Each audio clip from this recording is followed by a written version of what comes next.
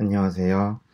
아, 오늘부터는 이제 반응형 웹사이트, 반응형 웹사이트 작업 들어갈 건데요. 기존에 이제 저희가, 음, 잘 따라 하셨는지는 모르겠지만 웹표준 사이트 아마 요거 작업하셨을 겁니다. 웹표준 사이트 만들어서 가장 기본적인 사이트 만드는 거 요거 작업하셨을 거고요. 이번에는 이제 두 번째, 웹표준 사이트까지 다 만드셨으면 이번엔 반응형 사이트 만드는 거 요거 한번 작업을 해볼 거예요.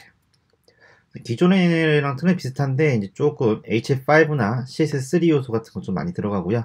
애니메이션 들어가고 뭐 여러 가지 애니메이션 관련된 것들 이런 거 추가적으로 들어갈 거고 media query 들어갈 거고요. 그래서 우리가 이제 웹표준 사이트 만들 때도 레이아웃을 되게 중요시해서 레이아웃 연습을 했죠.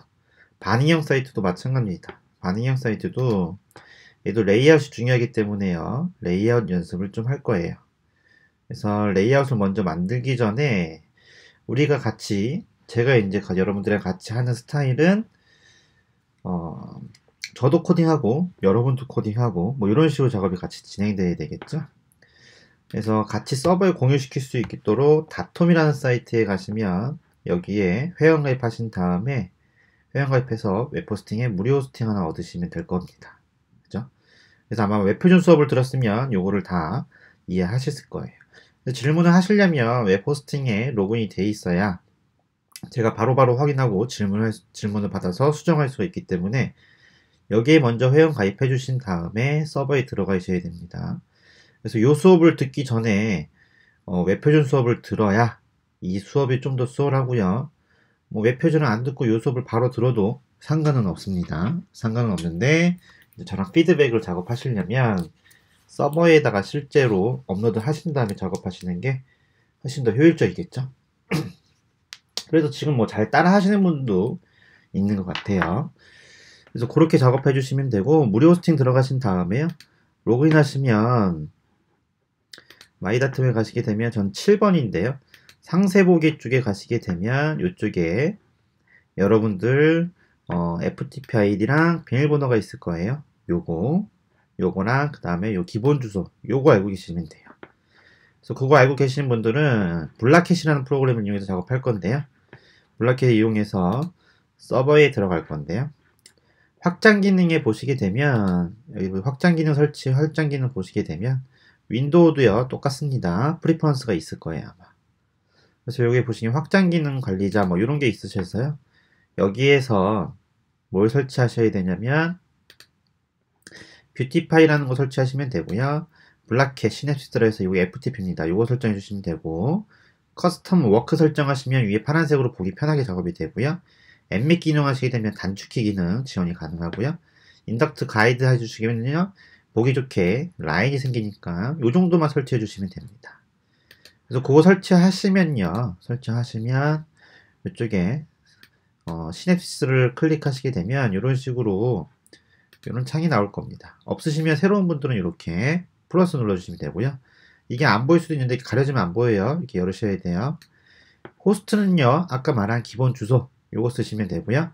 유저 아이디 비밀번호 현재 디렉토리는 어 뭐 HTML 뭐 이런 식으로 쓰시면 됩니다. 기본 루트가 HTML이기 때문에 그렇게 해주시면 되고요. 그 상태에서 이제 저희가 접속하시면 되죠. 이쪽에서 커넥트 눌러서 접속하시면 됩니다. 웹표준에서 다 설명이 된 거기 때문에 제가 간단하게 한번 설명 드린 거예요. 그래서 우리가 이제 새로운 거 폴더를 하나 만들어야겠죠. 여기다가 어, responsive라고 해서 반응형을 하나 만들 거고요. 이렇게 폴더를 하나 만드시면 돼요. 현재 제가 2019년도에 지금 들어가고 있는 버전이 parallax 웹, 웹은 저희가 끝났죠. 이제 responsive 요게 들어가고 그 다음 기업 사이트, 모바일, parallax 사이트, 포트폴리오 사이트 거기다 이제 또 추가적으로 PHP 뭐 이런 식으로 수업이 계속 진행이 될 건데 장기 프로젝트에서 언제 끝날지 모릅니다. 네. 꾸준하게 계속 올릴 거니까 지켜봐 주시면 되고요. 그래서 여기다가 작업을 할 거고요. 여기다가 responsive 작업할 건데 제일 먼저 우리가 레이아웃 연습을 해야 되기 때문에 여기다가 레이아웃 1.html 이런 식으로 써주실 겁니다. 뭐 웹표준 수업 들었던 분은 다 아시는 거고요. 그 상태에서 이쪽에다가 느낌표 작업해 주신 다음에 탭 누르시게 되면 여기다가 레이아웃 이렇게 해주면 수업 준비가 된 거죠. 언어는 KO라고 작업해 주시면 되고요. 이런 식으로. 수업 준비는 항상 이런 식으로 작업하시면 되죠. 다 아시는 거죠?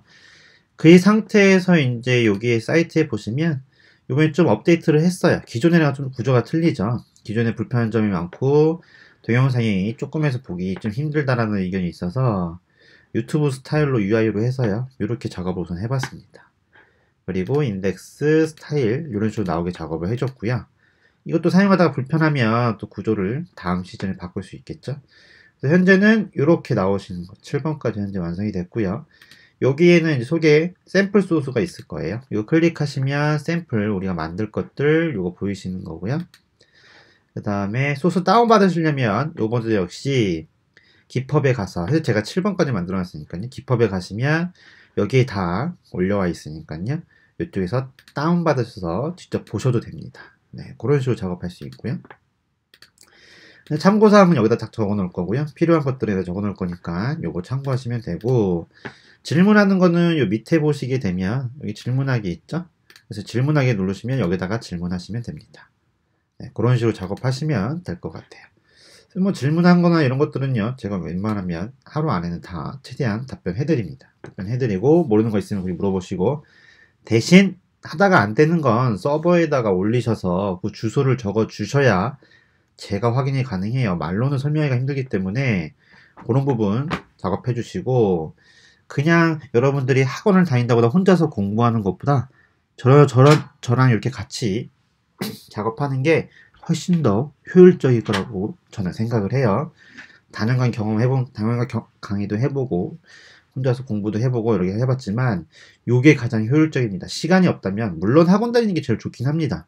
학원 다녀서 공부하는 게 제일 좋긴 한데, 그게 안 된다라고 하면, 이런 식으로 유튜브 보면서, 뭐, 듀얼 모니터면요. 여기 동영상 보고, 그 다음에 코딩 소스 보고, 따라 하면서 작업하는 게 제일 좋고요. 그게 제일 그리고 뿌듯합니다. 결과가 남아야지.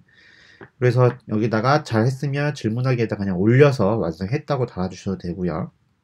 그런 피드기, 피드백이 많아야 저도 계속 꾸준하게 만들기 때문에 여러분들이 만약에 도움이 되셨다면 그런 식으로 피드백을 해주시면 서로 좋을 것 같아요. 그래서 이번에는 이제 반응형 사이트를 만들 건데, 어, 우선은 반응형 사이트도요, 웹표준 사이트와 마찬가지로 레이아웃을 먼저 마스터하고 가셔야 됩니다. 그래서 우리가 어, 웹표준 사이트에서 보시게 되면 요 사이트를 한번 반응을 만들었 요 사이트를 한번 레이아웃을 만들었을 거예요. 요거 기억나시나요? 요거 요거 요거를 만들었는데 이걸 한번 만들어 볼게요. 그래서 그때 만들었던 거랑 무슨 차이점이 있는지 확인을 할 거고요. 기존에 기억이 안 나시면 다시 또 기억을 되살려서 요거를 확인하시면 됩니다. 그래서 이제 반응형 사이트 가기 전에 요거를 먼저 확인해 볼게요. 그럼 여러분들이 이제 저 사이트를 만드시려면 가장 기본적으로 제일 큰 박스, 워렘이라는 박스가 있어서 그 안에 DI 박스를 다섯 개 만들겠죠? 요렇게 하나, 둘, 셋, 넷, 다섯 개. Emmet도 웹표준을 봤다라고 하면 다 아는 거니까요. 넘어갈 겁니다. 모르시면 웹표준부터 보고 오시면 되는 거고요.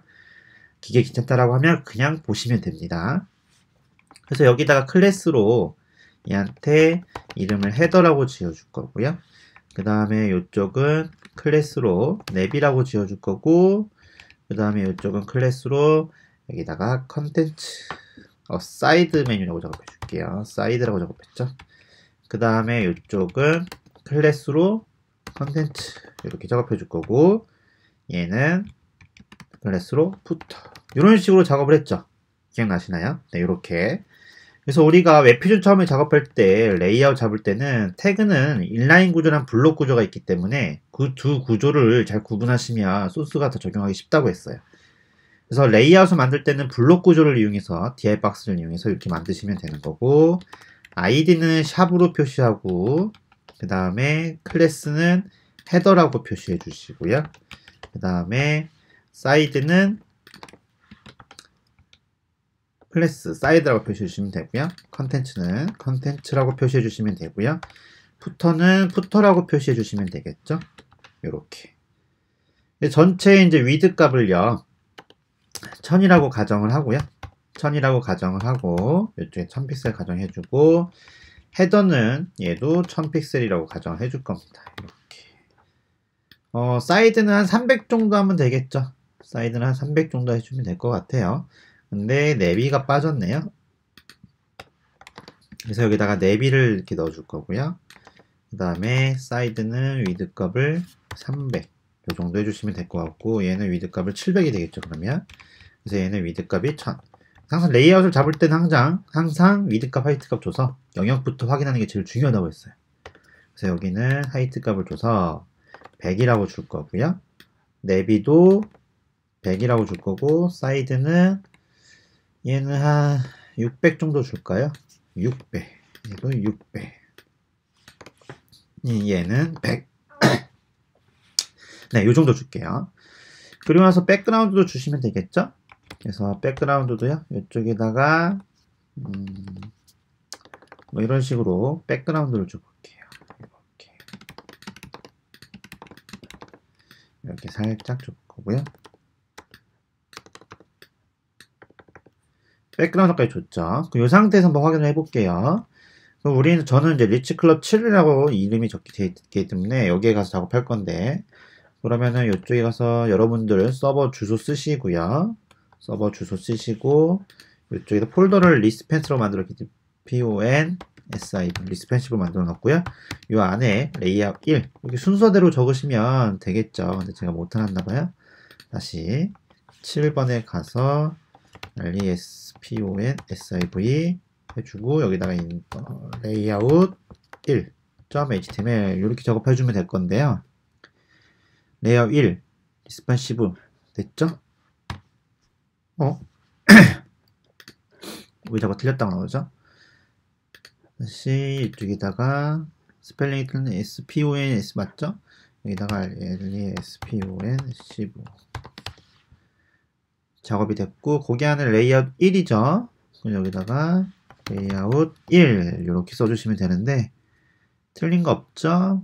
res pon siv 레이아웃 1 틀린 거 없습니다. 이건 되겠죠?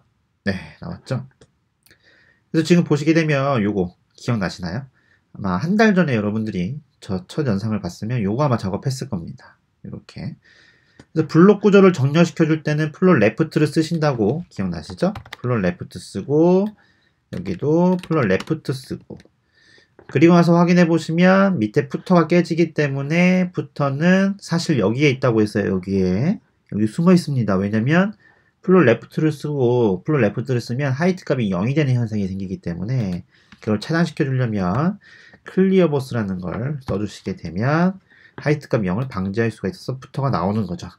그리고 그 상태에서 가운데 오게 해주려면 margin을 0, auto라고 작업해 주시면 되겠죠. 그렇죠. 이런 식으로 작업이 된 거죠. 똑같죠? 네, 이렇게 작업을 했었습니다. 색깔 똑같이 주고 싶으면 이쪽에 가서 스타일 가서 색깔만 변경하시면 되겠죠?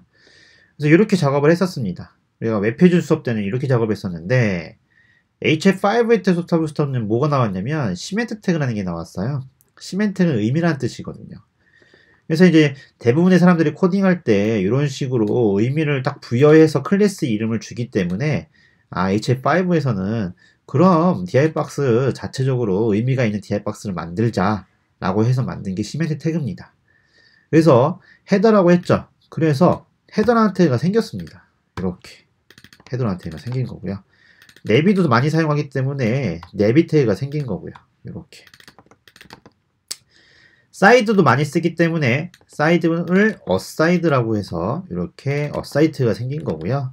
이렇게 그리고 contents는 section이라고 해서 이런 식으로 섹션이라고 생겼고요.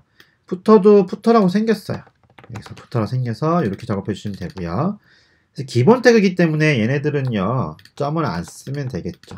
그래서 aside는 aside라고 작업해 주시면 되고 섹션은 섹션, footer는 footer, header는 header, nav는 nav 이런 식으로 작업해 주시면 되는 거죠. 그래서 확인해 보시게 되면 그래도 똑같이 나오죠. 이게 semantic 태그입니다. 그래서 HTML5에서는요, semantic 태그를 써서 작업할 거예요. 한 가지 semantic이 단점이 뭐냐면, Explorer 8에서는 지원이 안 되죠. 최신 소스이기 때문에 Explorer 지원이 안 됩니다. 그거는 이제 실제 사이트 만들 때 어떻게 수정을 하는지 그때 한번 확인을 해볼게요. 그때 한번 확인을 해볼 거고, 그래서 첫 번째 여러분들이 웹표준 코딩에서 레이아웃 짰던 거를 semantic 태그를 이용해서 이렇게 작업을 한 겁니다. 이렇게 우리가 연습을 할 거예요. 이렇게. 그래서 첫 번째는 저랑 같이 레이아웃 연습을 semantic 태그를 이용해서 한번 작업해 본 거예요. 그래서 실제로 semantic 태그를 정리를 좀 하셔야 되는데 어, 이쪽에 가보시게 되면 음, 사이트가 다 완성이 된 건 아니지만 코드라는 부분에 가보시게 되면 이쪽 코드에 가보시게 되면 HTML에 가서 제가 지금 만들고 있는 사이트라서요. 아직은 좀 그런데 이쪽에 가시게 되면 제일 먼저 우리가 뭘 봐야 되냐면 이쪽에 어, semantic 태그 같은 걸 좀 볼게요. 그래서 header를 한번 찾아보겠습니다. 여기 header를 찾아보시게 되면 header 그래서 header를 보시게 되면 이쪽에 나왔죠 header는 웹 문서에 소개 컨텐츠 및 내비게이션 링크를 정의하는 semantic 태그예요. 그래서 여기 아래는 제목, 로고, 아이콘, 저자 정보 등을 포함할 수가 있고요. 섹션의 제목 태그를 포함하기 위한 것이지만 필수 사항은 아닙니다. 네, 그래서 그런 특징이 있고요. 그 다음에 또 우리가 쓴 게 뭐냐면 nav라는 특징 있죠. nav 태그. 그러면 nav 태그 한번 가볼게요. nav 태그에 보시게 되면 이쪽에 n nav 태그에 가보시게 되면 nav 태그는 웹 문서의 내비게이션 링크를 정의하는 겁니다. 그래서 웹 문서의 링크를 정의하기 때문에 모든 링크가 nav일 필요는 없지만 주요 내비게이션 링크는 nav 태그를 사용하는 거예요. A 링크가 있다고 해서 무조건 다 nav라고 쓸 필요는 없습니다. 그래서 일반적으로는 footer형의 링크는 nav로 사용하지 않아요. 거기에 A 링크 되게 많죠. 그래서 메뉴가 되게 많을 거예요. 그건 nav 태그를 사용하지 않아요. 그래서 주로는 내비게이션 링크 여기서 주로 사용하는 것서 사이트에 주로 한 번을 사용해요. 두 번 사용하는 경우도 있어요. 사이드 메뉴가 있으면. 그래서 웹문서에서 여러 개 있을 수 있지만 주로 사이트 탐색과 페이지 탐색용으로 사용하는 거예요. 그래서 제가 이런 태그를 왜 설명드리냐면 HTML5 태그는 semantic 태그는 그 의미에 의미에 따라서 태그를 붙여야 되기 때문에 정확히 의미를 알고 있어야 여러분들이 이거 언제 쓸 수 있는지 알 수 있죠. 그거 자체가 웹 표준을 준수하는 거기 때문에 기본적인 태그가 무슨 어디서 쓰는 건지 어떤 의미를 갖고 있는지는 기본적으로 한 번은 훑어보셔야 되는 거고요. aside 한번 볼까요? aside 보시게 되면 요거는 사이트 컨텐츠 여기 보시게 되면 웹페이지의 메인 컨텐츠와 관련된 사이드 정보, 광고, 부분적인 정보를 그룹할 때 사용하는 거예요. 다 알고 있는 거죠. 다 알고 있는 겁니다. 그래서 aside는 그거고요. 섹션 한번 뽑아볼까요? 섹션을 보시게 되면 SE 섹션 한번 보시면 얘는 주제별 그룹의 컨텐츠 섹션을 정의하는 겁니다. 그래서 top 페이지, 홈페이지, 소개, 연락처, 육수 한 모두가 주제별로 분할할 수 있고요. 이 태그 안에는 제목 태그가 꼭 포함이 되어 있어야 돼요. 섹션 태그이기 때문에. 그래서 문장이나 문서의 스타일 요소는 아니에요. 디자인 작업하는 건 아닙니다. 그래서 영역을 잡기 위한 거라면 그냥 div 태그를 쓰는 게 좋아요.